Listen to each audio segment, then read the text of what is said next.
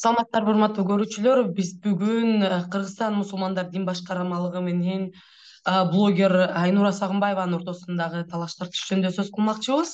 Э, бул негизи канчалык шарият менен шарият менен чечиле турган маселе болчу. Ушул жөнүндө сөз кылмакчыбыз. Бул үчүн бизде конокто айнура сагынбаева айнура айым саламатсызбы?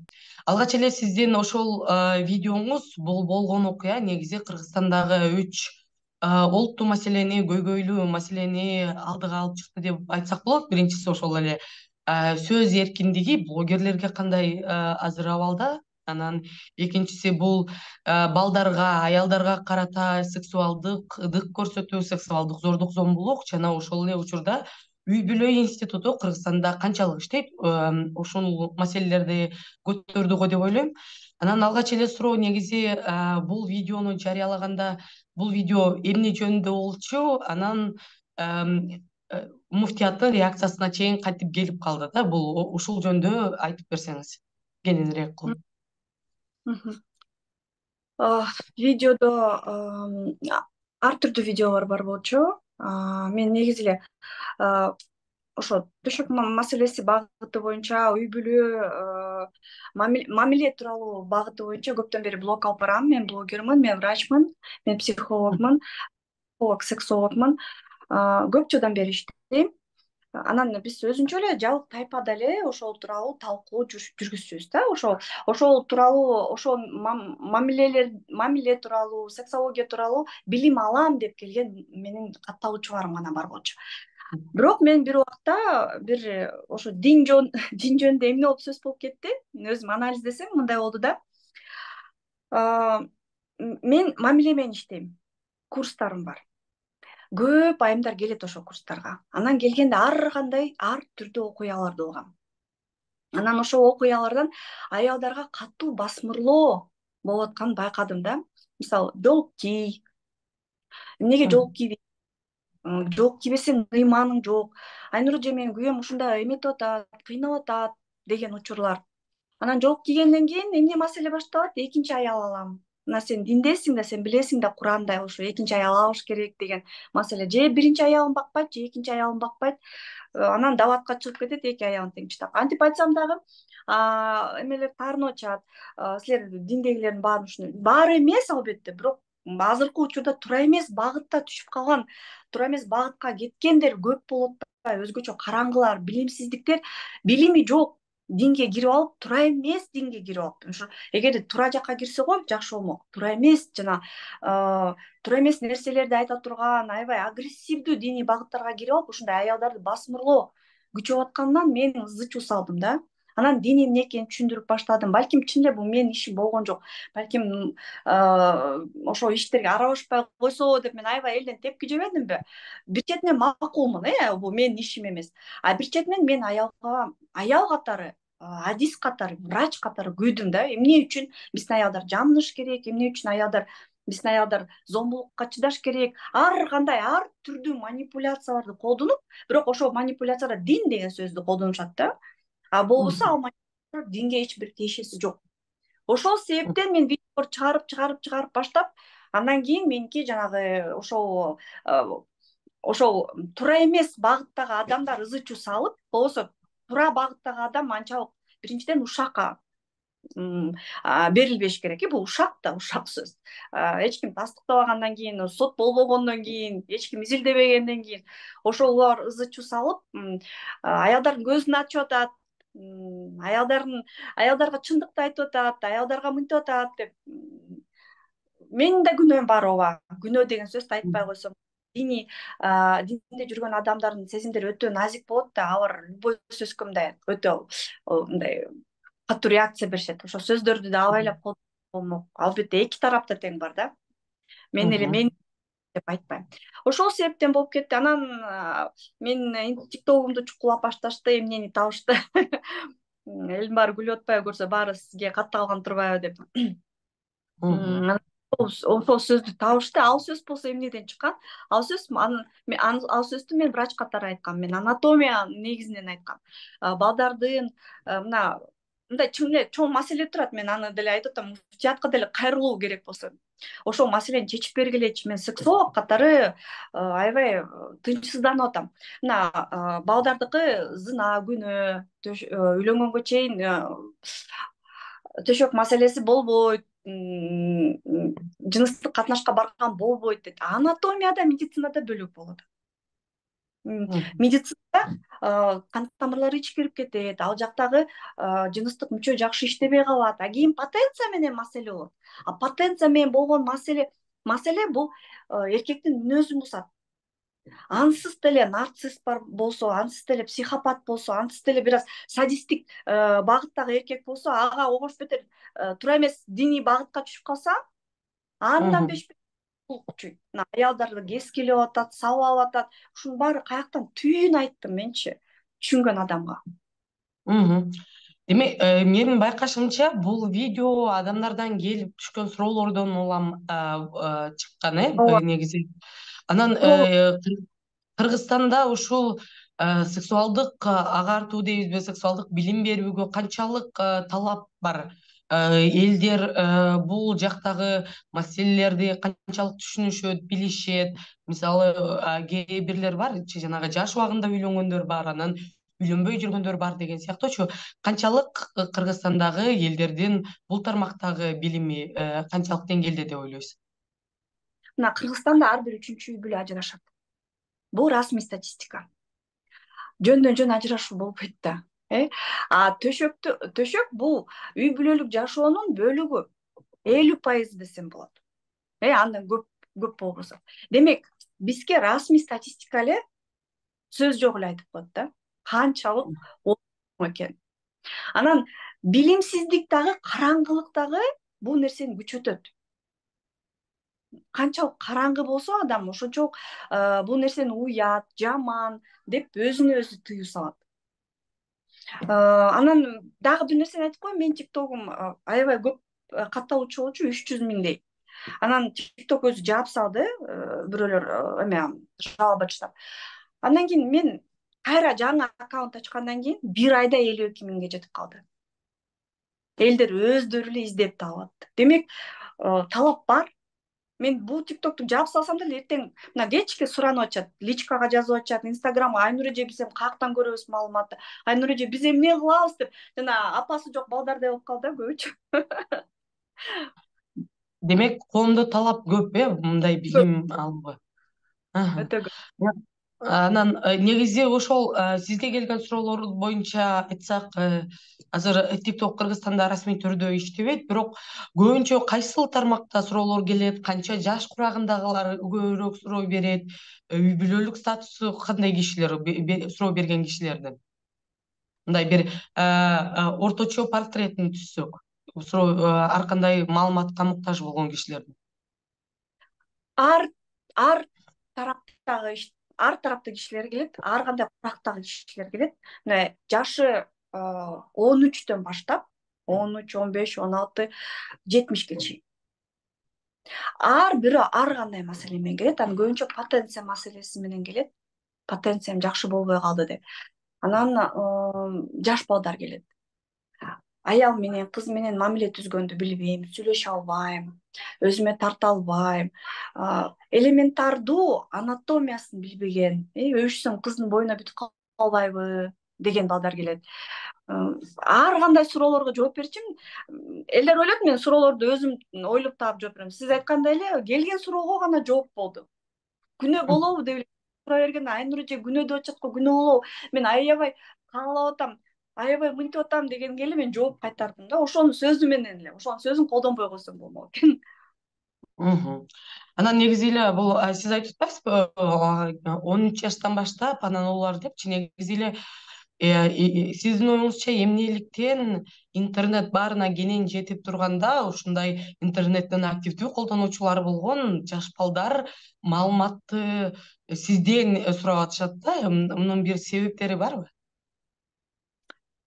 ооба себеби бар? Кыргызча маалымат аз.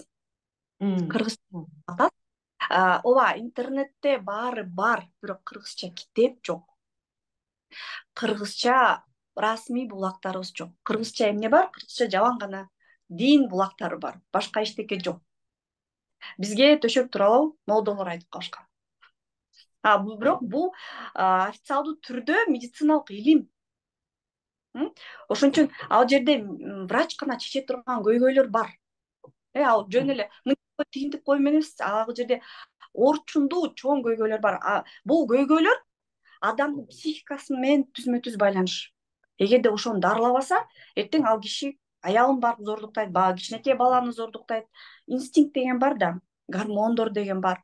Аны карабаса ал киши ал кишинин психикасы өтө мындай начар абалда болот а эгерде андай кишилер көп болсо коомдун психикасы начар абалда болот ошон үчүн мен ызы чуу салып ушул маселени көтөрдүм. Анан э, сиздин ушул пикириңизге кайсы бир мындай мен атайын социалдык тармактарды карап отуруп э, мындай каршы пикирлер да бар экен да бул дин жагынан эмес. Ушинтип айтуу негизи эле сексуалдык зордук зомбулук көрсөткөн кишилерди актоо катары э, болуп калбайбы депчи деп суроо салгандар да бар экен. Ушул мүмкүн расмий үйлөнгөнгө чейин сексуалдык байланыштардын болбообу болбосо баары мындай зордукчул болуп кетет зордук көбөйөт деген пикир канчалык туура бул. Ошол сексуалдык ыдык зордук зомбулук көрсөткөн кишилерди актоо катары болуп калган жокпу деген да суроолор бар экен да сиз ушуга кандай жооп берет элеңиз психологияда мындай нерсе бар да ар бир адам өзү каалаган нерсесин гана көрөт. Э өзү каалаган нерсесин гана угат мисалы менин видеомдо барып кыздарды зордуктагыла деген сөз болгон жок да. Туурабы? Эч кандай мындай э, үгүттөө болгон жок. Бирок эгерде бул маселени карабаса зордук зомбулук күчөйт анткени ошол сексуалдуу каалоону чыгара албаган адамдар жыныстык мүчөсү начар болуп калган потенция менен маселе жаралып калган адамдар именно ошолор зордук зомбулукка барат. Демек адамдар тескерисинче түшүнүп алды да бар зордукта дегенди түшүнүп алды андай сөз болгон эмес. Демек көп адамдар өзүнүн ошого болгон каалоосу барбы же өздөрү ошондой ошого жакынбы мен ошо коомду дагы жакшыраак түшүнүп калдым бул бул эмеден кийинчи. Коом менен иштеш керек экен. А коомдогу ар бир адамдын психикасы менен иштеш керек экен деп түшүнүп калдым да анан э, биз негизи алгач ошо блогерлик э, боюнча да сөздөрдү улантып көрсөк. Негизи бул ушул тармактагы блог ачуунун себеби эмнеден болду? Ал кантип э, сиз айттыңыз? Алгач баракчаны жаап койгондон кийин кайра эле бат эле жазуучулары жазылгандар келип калды дегенчи. Ушул кантип элдер табышат силерди? Ушул негизи эле идея кайдан келген да? Ушул темада мен блог баштасам болот экен деген блог мен психологиядан баштагам э, аял менен эркектин мамилесинен баштагам анан врач болгондуктан кийин мен ошо мамилени үстүртөн карабай эле мен терең казып кирип кеттим да.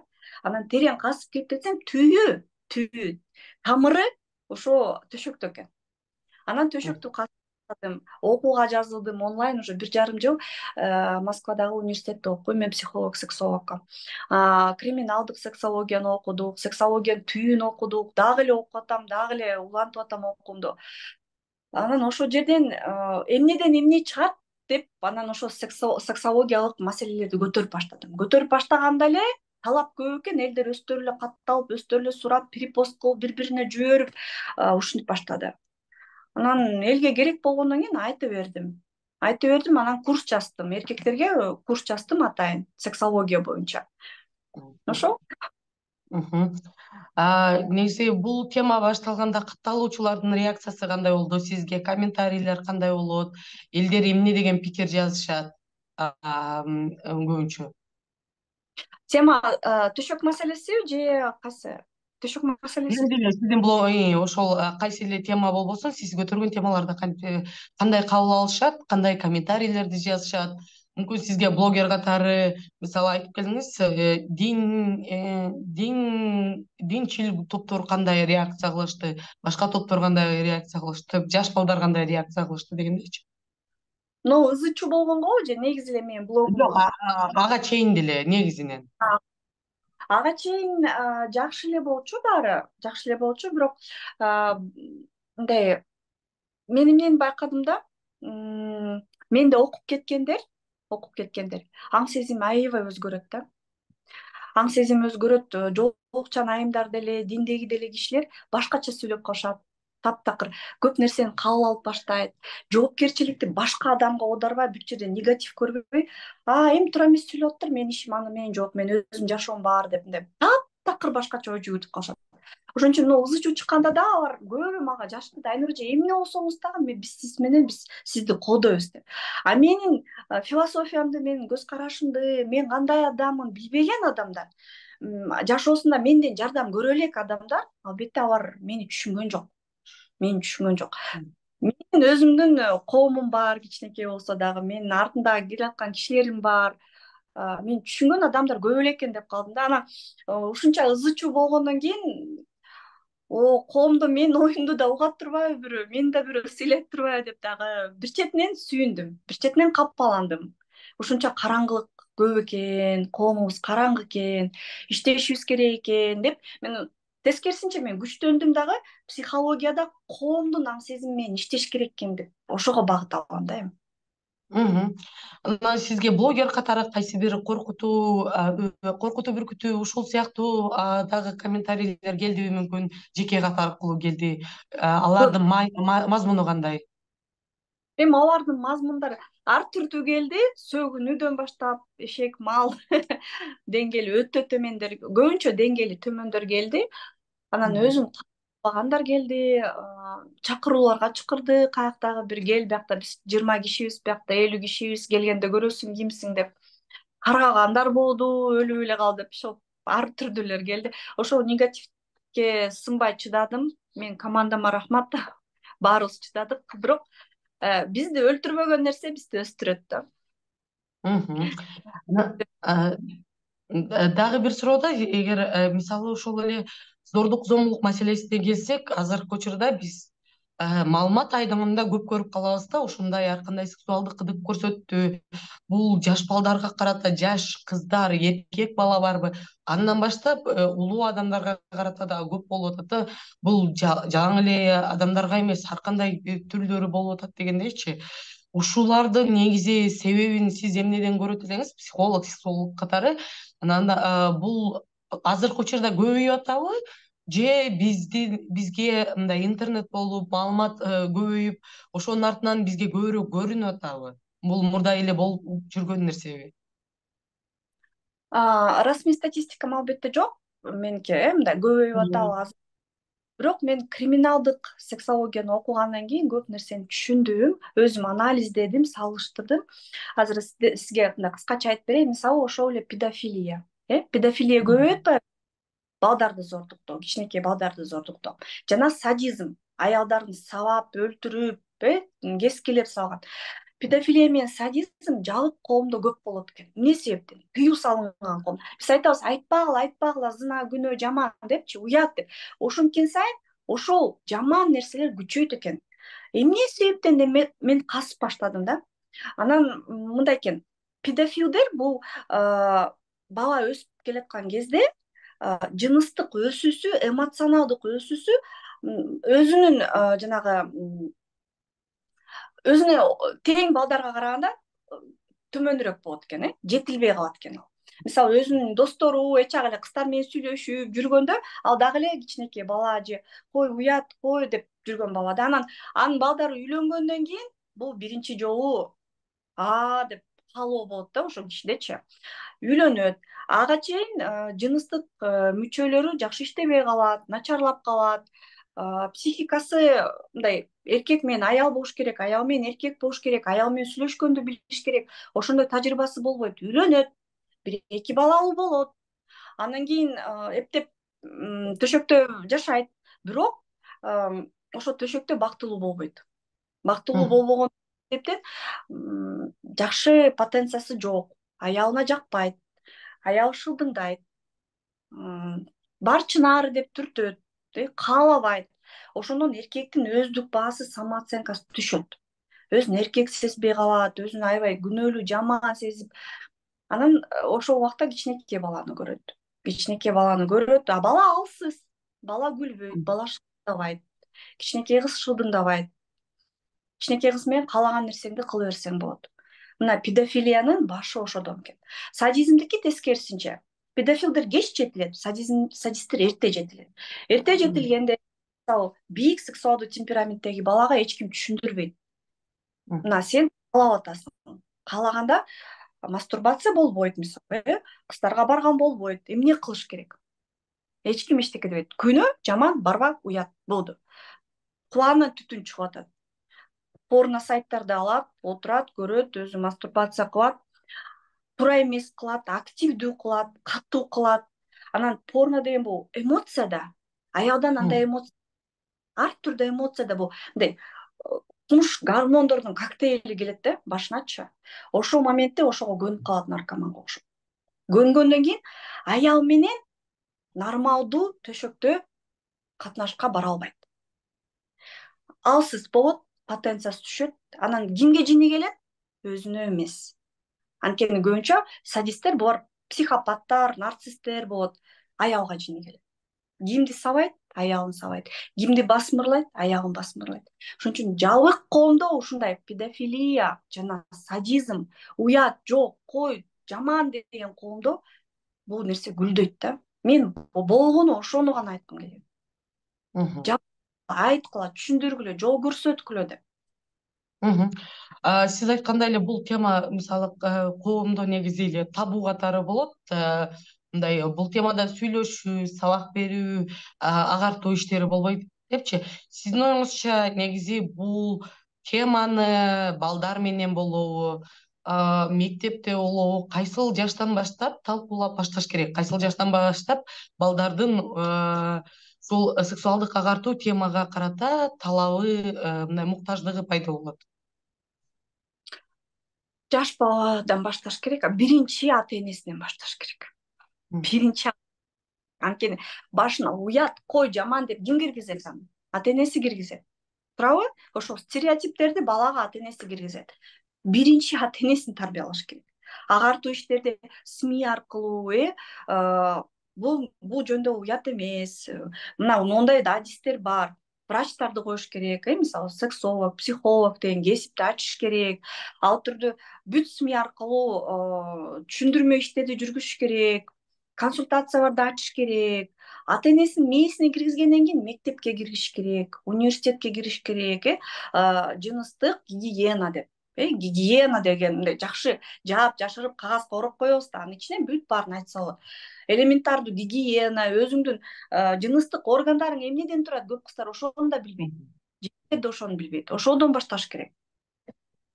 Керек. Анан анан бул ушул эле нерсе менен менин оюмча жанагы биз бул жылы э, э, бир эле жуманын ичинде бир канча окуя болду жанагы балдарын таштап кеткен жаш кыздар жөнүндө маалыматтарды көрө алдык да.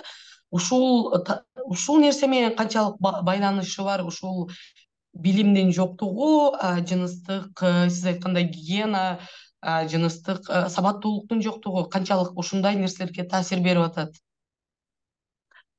Кой уят жаман деген нерсе именно ошол нерсе ошондой кыздарды жаратып атат.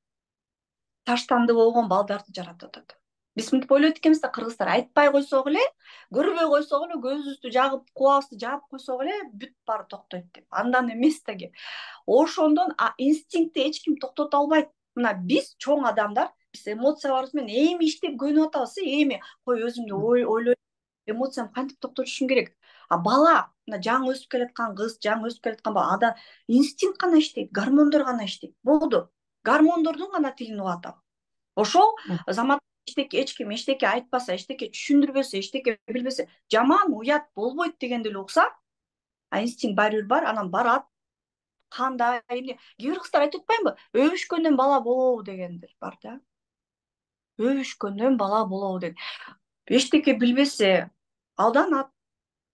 Алдангандан кийин өзүнүн жашоосуна жоопкерчиликти билбейт баланы тыштайт. Коомдон коркот билип калса өлтүрөт сайып сабат өлтүрүп сабат үйдөн кууп сабат деп. Ата энесинен да коркот э бул тема демек үй бүлө ичинде бул теманы талкуулоодо үй бүлө да балдар үчүн биздин коомдо мындай коопсуз жай катары эсептелбей калдыбы э ооба бизге клиникада биз деген бизде негизи мындай кызмат бар да кыздыкты калыбына келтиребиз эми ар түрдүү нерселер болот да зордуктоо болот э психикалык ар кандай эмелер болот ошондо бир апасы кызын ээрчитип келген. Кызын экөө тең оронгон жолукчан айымдар жакшынакай болгон кызы бар экен он алтыда. Чогуу экөө кафеде иштейт экен болбосо. Чогуу иштейт экен. Анан апасы үйгө кеткенде кызын бир саатка ошол жака жыйнап кел деп калтырып койгондо боюнда бүтүп калат. Ошо карап көзөмөлдөп бүт жагынан тыйып жүргөн кыз. Баланыкы беш эле мүнөт. Балага баланы тыйбай балага маалымат бериш керек. Өзүн өзүн коргош үчүн маалымат бериш керек. Бул өтө маанилүү ошону айтып жеткизе албай атам да анан баары эле мени динди жаман көрөсүң дин бул жерде дин жөнүндө сөз жок. Бул жерде адамдын караңгылыгы жөнүндө сөз анан дагы үчүнчү маселе бул кыргызстандагы үй бүлөлөрдүн туруктуулугуна да таасир берет деп айттыңыз. Сиздин оюңузча бул үй бүлө курууда канчалык маанилүү көйгөй үй бүлөнүн бузулуусуна канчалык таасир берип атат азыркы күндө? Үй бүлөнүн бузулуусуна адамдардын жан дүйнөсү жан дүйнөсү менен иштебегени өзүнүн психикасын түшүнбөгөнү көбүрөөк таасир берип атат. Биринчиден адам өздөрү түшүнбөйт. Экинчиден бири бирин түшүнбөйт. Ушундай аябай чуу көп болуп атат анан биздики көбүнчө кыргыз тилдүү да. Кыргыз тилдүү психологиялык китептер жок. Китептер аз аябай. Көбүнчө китептер аялды басмырлоо китептер. Эй аял деген мындай болуш керек тигиндей болуш керек. А психикасын түшүндүргөн организмин түшүндүргөн эркек менен болгон мамилени түшүндүргөн китептер жок. Ошон үчүн ажырашуулар көп болуп атат өтө көп болуп атат көп ажырашууну токтотсо болот. Аябай көп болот. Чоң рахмат айнура айым бул бүгүнкү талкууңуз үчүн урматтуу көрүүчүлөр биз бүгүн кыргызстанда болуп аткан окуялардын дагы бир коомдун көп талкуусуна кабылган кыргызстан мусулмандар дин башкармалыгы менен блогер айнура сагынбаеванын ортосундагы пикир келишпестик дейбизби конфликт дейбизби ушул теманы жалпы эле кыргызстандагы сексуалдык билим берүүнүн абалын бул канчалык керек коомго канчалык коомдун бул маалыматта канчалык муктаждыгы бар. Ушул жөнүндө сөз кылдык. Айнура айым келип бергениңизге чоң рахмат. Алып барган мен перизат сайтбурхан кийинки берүүлөрдөн көрүшкөнчө сак саламатта туруңуздар.